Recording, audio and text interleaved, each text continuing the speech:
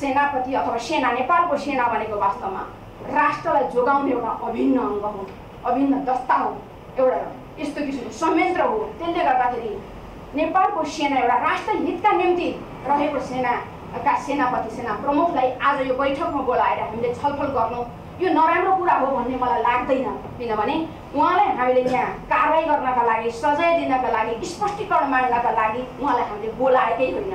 ससम्मानपूर्वक ढङ्गले हामीले आधिकारिक धारणा के हो भन्ने सन्दर्भमा प्रष्ट जानकारी प्राप्त होस् भन्नका लागि नै हामीले बोलाएका हौँ र आज पनि सम्मान गर्छौँ भोलि पनि सम्मान गर्छौँ। बाटो चाहिँ प्रष्ट किसिमको कुराहरू आएको छैन। र म अनुरोधका साथ भन्न चाहन्छु विनम्रताका म साथमा भन्न चाहन्छु।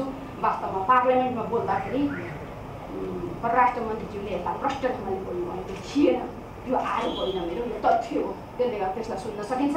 यसले गर्दा आजको यस बैठकमा प्रष्ट ढङ्गले चाहिँ परराष्ट्र मन्त्रीज्यूले पनि जसरी प्रधान सेनापतिले राख्नुभयो त्यही ढङ्गले चाहिँ प्रष्ट ढङ्गले चाहिँ राखेको हुन्छ भन्ने मैले आशा गरेको छु।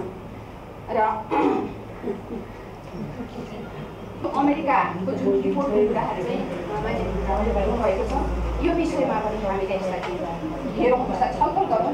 र यी स्टेटमेन्टहरू अथवा यी पत्रचारहरू डकुमेन्टहरू के कति छन् यी चाहिँ हाम्रो समितिले तत्काल समितिलाई चाहिँ उपलब्ध गराउनका लागि पनि म अनुरोध गर्दछु र यसलाई अध्ययन गरेर सकिन्छ। भने यसलाई आवश्यकता पर्छ भने आज छलफल गरौँ हामी अझै पनि गम्भीरतापूर्वक।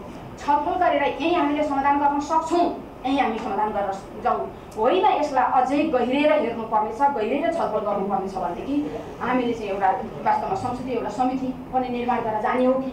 अब यसबारेमा अझै गम्भीरतापूर्वक चाहिँ छलफल गरौँ भन्ने चाहिँ म अनुरोध गर्न चाहन्छु र प्रधानमन्त्रीको जुन विदेश भ्रमण अमेरिका भ्रमणको सन्दर्भको कुरा भयो र सँगसँगै चाहिँ प्रधान सेनापतिको कुरामा दुईवटा देशमा जाने कुराहरू चाहिँ उहाँले राख्नुभएको छ लेबनान र सिरियाको कुरा अब यसमा चाहिँ राष्ट्र हितका निम्ति चाहिँ त्यहाँ चाहिँ काम बनोस् नेपालका हितका निम्ति काम होस् भन्ने हार्दिक शुभकामना व्यक्त गर्न चाहन्छु र प्रधानमन्त्री जाने सन्दर्भका कुराहरूमा वास्तवमा हामीले शङ्का आशंका गरेको होइन औगुल्टोले हानेको कुकुर बिजुली चम्कँदा झस्कन्छ भन्छन् यस्तै गरी विगतमा भएका सन्धि सम्झौताहरू विविध कुराले चाहिँ हाम्रो मुटुमा ढ्याङ्ग्रो बजिरहेको छ ढकढकाइरहेको छ यसले गर्दा बाहेक बाँकी कमी कमजोरी पो हुन्छ कि भन्ने एउटा आशंका मात्रै हो हाम्रो प्रधानमन्त्रीज्यूले। त्यस्तो किसिमको गलत काम गर्नुहुन्छ भन्ने हामीलाई त्यस्तो विश्वास छैन। राम्रै काम गर्न आउनु होला तर कम्तीमा पनि समितिमा के के कामहरू चाहिँ त्यहाँनिर? हुने हुन्? र त्यो बैठक त्यो भ्रमण कस्तो बैठक भ्रमण हो भन्ने खालको कुरा